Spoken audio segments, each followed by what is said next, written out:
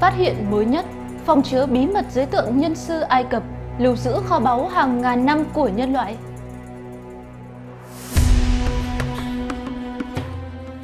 Trong lĩnh vực khảo cổ học, nhiều nhà nghiên cứu càng tìm hiểu về Ai Cập cổ thì họ lại càng nhận ra càng nhiều mâu thuẫn và nghịch lý, như việc kim tự tháp vốn là một công trình phức tạp, đầy công phu mà người Ai Cập đương thời không thể xây dựng nổi.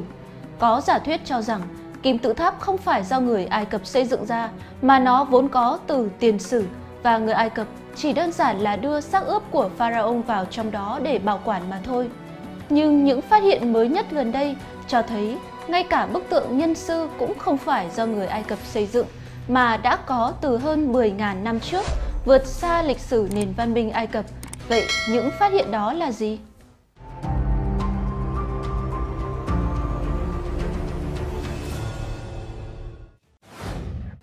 Một, tượng nhân sư vốn là một bức tượng sư tử. Bức tượng nhân sư tôn nghiêm là vị thần bảo vệ cho kim tự tháp linh thiêng. Ngoại hình của tượng nhân sư là một người đàn ông trầm tĩnh, mang khuôn mặt của một vị vua pharaoh trên đầu quấn một chiếc khăn hoàng gia. Qua năm tháng dài lâu, nó đã không còn giữ được hình thù như cũ. Bức tượng đã bị mất đi phần mũi và biểu tượng chim ưng và rắn trên trán, tượng trưng cho Thượng Ai Cập và Hạ Ai Cập cũng đã bị mất. Một câu chuyện cổ cho rằng Napoleon khi đang trong chiến dịch đã ra lệnh bắn phá khuôn mặt của tượng nhân sư này hoặc trong lúc quân Pháp đang giao chiến đã có một quả tạc đạn bay lạc làm sứt mất khuôn mặt của bức tượng. Tuy nhiên, gần đây có một số người cho rằng bức tượng nhân sư này có những điểm khác lạ và đầy nghịch lý.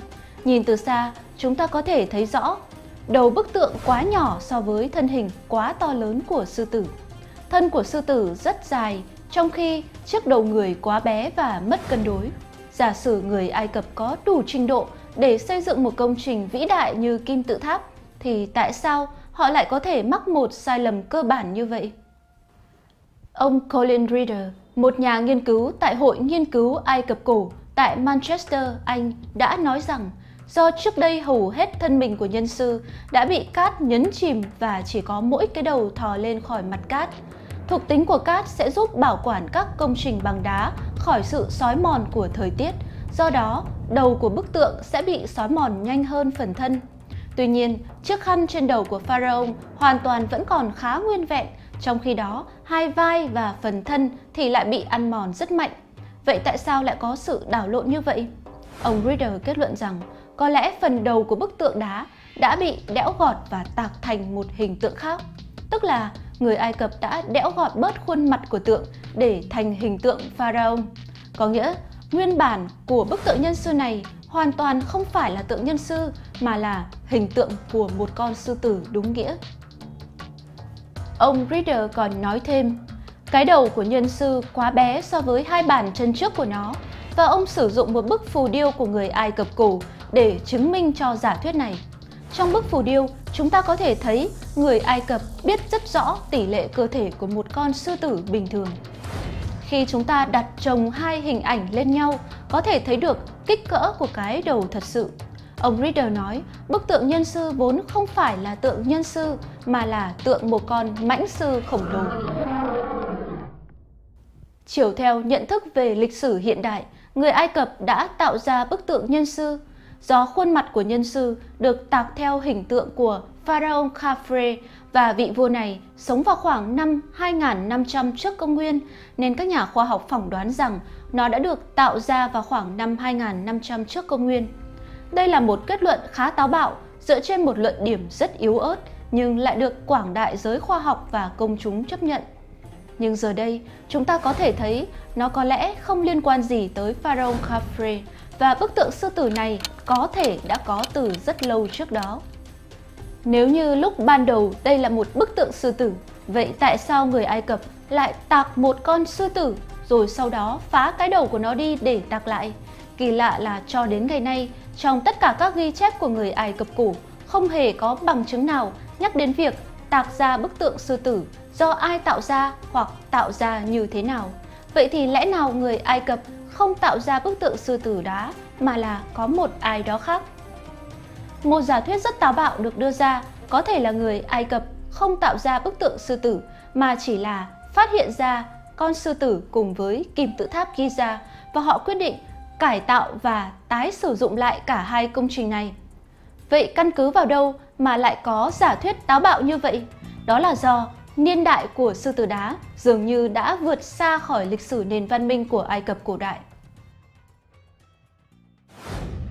Niên đại của sư tử đá Đây không phải là một giả thuyết mới được đưa ra mà từ những năm 1992, nhà nghiên cứu John Anthony West đã cho rằng niên đại của bức tượng sư tử đá không phải là từ năm 2500 trước công nguyên mà là sớm hơn đó khoảng 10.000 năm, tức là vào khoảng 12.500 năm trước công nguyên, vượt xa khỏi nền văn minh Ai Cập. Từ trước khi Ai Cập còn là một hoang mạc, thậm chí còn vượt xa khỏi lịch sử văn minh của con người. Để chứng minh giả thuyết của mình, ông West đã đến gặp một chuyên gia địa chất ở Oxford và hỏi rằng ông có thể phân biệt được sự ăn mòn do gió bụi và sự ăn mòn do nước biển không? Người đó trả lời, về tổng quan là có thể. Ông West bèn đưa ra một bức ảnh tượng nhân sư nhưng che đi phần đầu của tượng và hỏi lại, vậy ông nghĩ rằng điều gì đã gây ra sự xói mòn này? Chuyên gia trả lời, không nghi ngờ gì, dĩ nhiên là do nước. Sau đó, ông West bèn lột phần che đi để lộ ra tượng nhân sư hoàn chỉnh và chuyên gia địa chất nhìn chăm chăm vào bức ảnh trong một phút rồi ngạc nhiên thốt lên. Ôi chà! Do đó, có lẽ bức tượng sư tử này đã chìm trong nước, có nghĩa là nó đã từng nằm ở dưới đáy biển và bị nước ăn mòn trong một thời gian rất lâu dài. Nếu bạn để ý kỹ, sẽ thấy các vết sói mòn ở tượng nhân sư rất giống với các vết sói mòn trên đá mà chúng ta hay thấy ở các bờ biển. Và điều này là không thể xảy ra nếu bức tượng sư tử được tạc vào năm 2500 trước công nguyên. Khi đó, cao nguyên Giza đã trở thành một hoang mạc. Nó phải chìm dưới đáy biển một thời gian rất lâu, đủ để các vết sói mòn hình thành. Và dĩ nhiên là không ai có thể nín thở lặn xuống dưới đáy biển để tạc một bức tượng. Cho nên nó có thể phải được tạc từ trước khi nơi đây biến thành biển. Giáo sư Robert Schoch cho rằng tượng sư tử phải có tuổi ít nhất là 10.000 đến 12.000 năm trước công nguyên, tức là ngay khi kết thúc kỷ băng hà cuối cùng, sa mạc Sahara lúc đó vẫn còn là một vùng đất chủ phú và có lượng mưa rất lớn, đủ để bào mòn bức tượng. Bằng chứng là bức tường bao quanh tượng nhân sư có dấu vết bào mòn do mưa chảy xuống trong hàng ngàn năm. Khí hậu ở Sahara ngày nay không thể tạo ra một lượng mưa đủ lớn như vậy nhà nghiên cứu Greg Braden đặt giả thuyết rằng khi kỷ băng hà kết thúc, băng tan đi trên bề mặt trái đất và một lượng nước lớn chảy ra biển đã bào mòn bức tượng, tức là khi kỷ băng hà cuối cùng bắt đầu vào khoảng 115.000 năm trước và khi nó kết thúc vào khoảng 12.000 năm trước công nguyên thì bức tượng có thể đã tồn tại rồi. Năm 2008, hai nhà địa chất người Ukraine là Manichev và Pakomenko đã lập luận rằng tượng sư tử đá đã từng thuộc về một nền văn minh xa xưa hơn rất nhiều.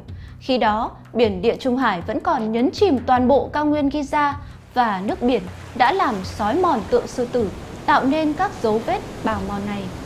Chiều theo nhận thức như trên bức tượng, có thể có tuổi lên đến 800.000 năm, tức là khi con người vẫn còn đang là vượn, chiều theo thuyết tiến hóa của Darwin. Chúng ta đều biết rằng tại Giza, có tất cả 3 tòa kim tự tháp, hai lớn và một nhỏ. Các nhà nghiên cứu cho rằng vị trí của ba kim tự tháp được xây dựng sao cho chúng đối xứng với chòm sao Orion hay chòm thợ săn trên bầu trời. Vị trí của ba kim tự tháp nằm trên thắt lưng của người thợ săn, bao gồm hai ngôi sao lớn và một ngôi sao nhỏ. Và bức tượng nhân sư này cũng đối xứng với một chòm sao, đó chính là chòm sao Leo hay chòm sư tử. Vào ngày xuân phân, lúc mặt trời mọc, tượng sư tử sẽ nhìn vào hướng chính đông, quay mặt nhìn thẳng vào chòm sao sư tử. Nếu bức tượng nhân sư từng có một cái đầu sư tử thay cho một cái đầu người thì lại càng hợp lý hơn. Bức tượng sư tử đá chính là phản chiếu của hình ảnh một con sư tử trên bầu trời. Tuy nhiên, có một vấn đề nhỏ ở đây, đó chính là vị trí của cả kim tự tháp và sư tử đá đều đã bị lệch so với thiết kế ban đầu. Nguyên nhân là do trục địa cầu đã từ từ xoay chuyển sau mỗi 26.000 năm và vị trí của kim tự tháp đối với chòm sao thợ săn và vị trí của nhân sư đối với chòm sao sư tử đã bị lệch trong thời hiện đại. Chúng ta cần phải quay ngược thời gian lại cách đây khoảng 10.000 năm trước công nguyên thì chúng ta mới có thể thấy chúng trùng khớp nhau.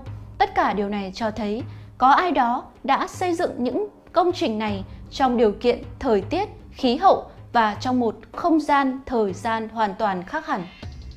Vậy, nếu như tượng nhân sư không phải do nền văn minh Ai Cập cổ xây dựng, thì rất có thể kim tự tháp cũng không phải do người Ai Cập xây dựng.